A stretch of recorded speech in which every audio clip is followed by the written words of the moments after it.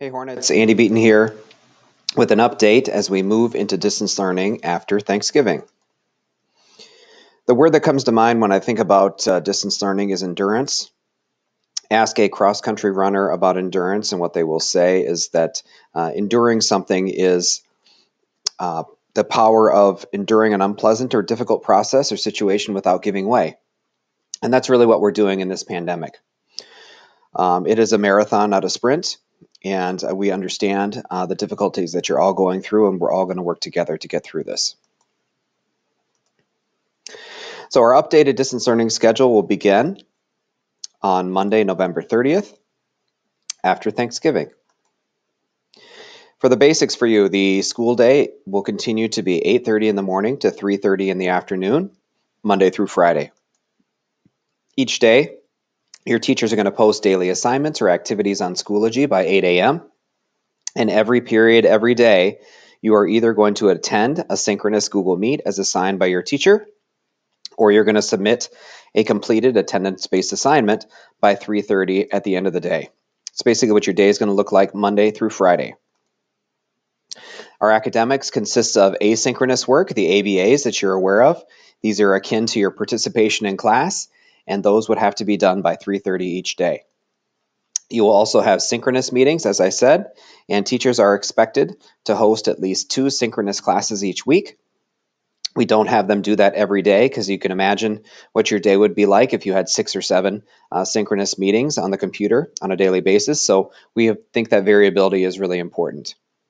And just as we were in face to face, students will have homework uh, to do outside of their class time not tied to attendance, but tied to the gradebook. So you can expect to continue to have reading, papers, projects to complete, just as you would if we were face to face. All right, so a typical schedule, um, or I should say a sample schedule that is here. Um, I want you to look at the times first. Um, from 8 o'clock in the morning, teachers will have office hours available. These will be by appointment. And in the afternoon, at 2.55, teachers will have office hours available and those will be drop in. In between, periods one through seven will be seven 45 minute periods. And we have a long uh, break in the middle of the day, 45 minutes for lunch, some time in between each class. Uh, but a sample schedule could be for this student on Monday. It looks like they have three synchronous meetings, which I highlighted in yellow, and others that they have a student prep, and they have three asynchronous ABAs to complete that day. On Wednesday, we have something called Flex Wednesday, which you experience for the first time on the 18th, where teachers can assign students to um, a period to come in in a synchronous meeting to get extra help, remediation, enrichment, and so on. And uh, I think it's a slick schedule, and we'll talk more about it in the slides coming up. All right, so on those Wednesdays, um, you as a student could be assigned to one or more uh, flex on that Wednesday. If you are assigned through campus, then you need to show up. We take attendance for those students. And the schedule is by subject.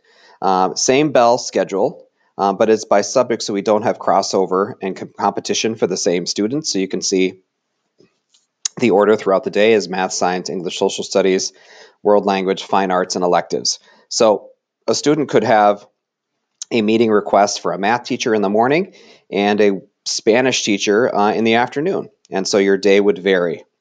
For students who are not assigned, um, they can opt in if there are seats available in a class. Let's say your math teacher selected five kids to come to a meet, but they have open seats for 15. You could opt in to be able to get help from your math teacher. Those that are not assigned um, will not have an ABA on that day, um, but they could have, and we will have, assignments and activities to do per Schoology and per their teacher. So for all of you, how to do this, if you haven't done it already and you did it on our first time, and if you saw the screencast, you'd go to the campus function, you'd go to the calendar button, you click the day, and you would see where your assignment is on that particular day. Um, often the Google Meet link will be in here in campus, but it also will be in Schoology as normal. All right, so when you're in a Google Meet, some reminders for all of you. Um, on any day of the week, we want you to arrive on time, just as you would when face-to-face. -face. Your teachers are likely to request to have you turn your camera on when doing a discussion or in a breakout room just for your engagement in class. So be mindful of that and respectful of that request from your teachers. If you have a concern, please reach out to them. Um, if you don't respond when your teacher calls on you, or you leave a meeting or a breakout room without communicating, that would be like walking out of class without permission. So you might be marked absent. So be mindful of that. This is school that we're doing every day. If you're obviously experiencing any connectivity issues, please let your teacher know. Attendance. Uh, this is again, I remind this every time I have a chance to talk to you that school is not optional. If you don't submit your daily attendance based assignments or participate online uh, when requested, you are absent and you could be truant. Uh, we've done a great job. We did a great job last spring in distance learning. We did a great job in hybrid. Our attendance has held and been strong. We'd like to continue with that. And so uh, remember, it is uh, not an option. You have to come to school every single day. Teachers, as I said before, will have office hours, 8 to 8.30 by appointment, and 2.55 to 3.15 at the end of the day for drop-in.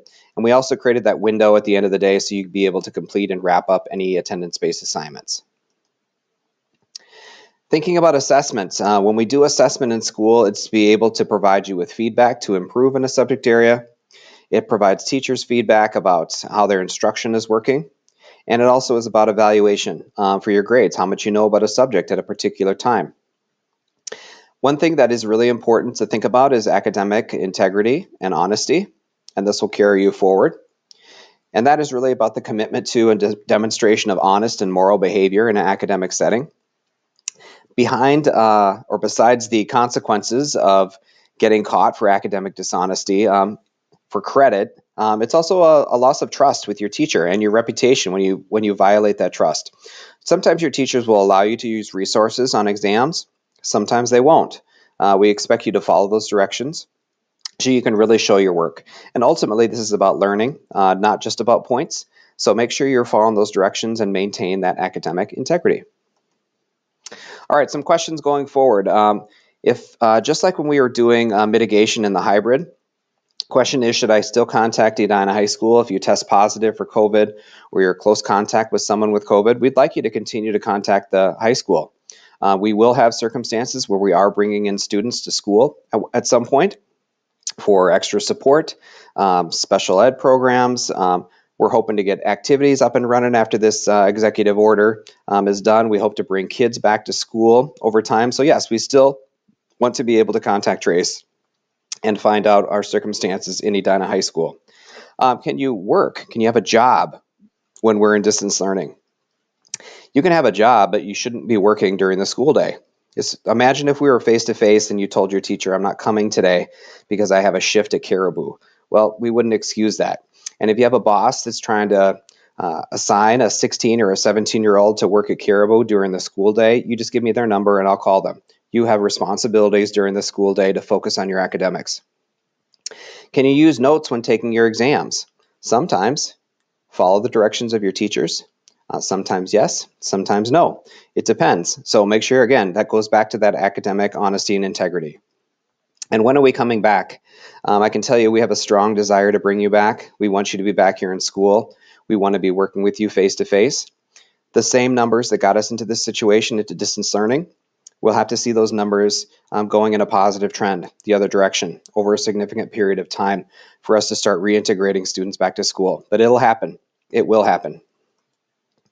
All right, the final word um, is about grace. Um, this message is for teachers, it's for students, it's for parents, it's for administrators. Um, grace is about presuming the best intentions. Everybody is trying their best. We're trying to put together a great product for kids. Students are trying to do their very best to uh, maintain the expectations of their teachers. Everybody needs to show some grace, uh, and we're all doing the very best we can. So, in that, uh, be slow to anger and quick to forgive um, when things don't go perfectly, because they won't. Uh, I promise they will not always go perfectly. So, and also maintain hope uh, about yourself and our world. We will get through this. I am confident in that. We have to convey that message to our young people that we will get through this. And um, I really wish you well and a really excellent time with your family over this Thanksgiving break. Take care.